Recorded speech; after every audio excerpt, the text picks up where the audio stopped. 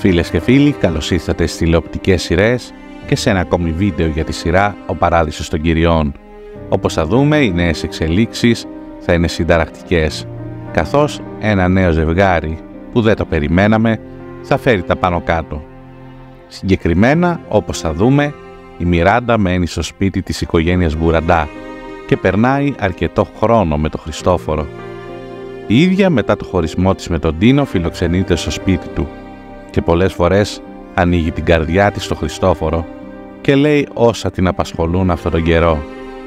Εκείνος καταλαβαίνει πόσο δυναμική γυναίκα είναι, ενώ εκείνη από την πλευρά της νιώθει πολύ όμορφα που υπάρχει ένας άνθρωπος δίπλα της να την ακούει.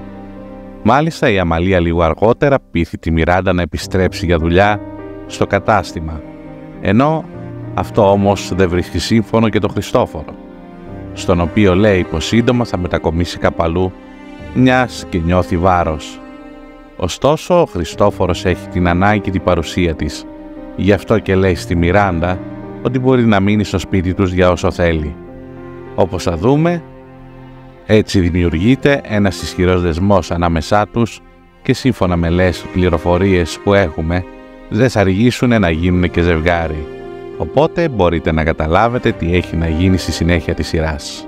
Παρ' όλα αυτά, εσείς μην ξεχάσετε να κάνετε εγγραφή στο κανάλι μας και να πατήσετε στο καμπανάκι δεξιά, έτσι ώστε να μαθαίνετε όλα τα νέα μας. Αυτά για τώρα, τα λέμε στο επόμενο βίντεο. Γεια σας!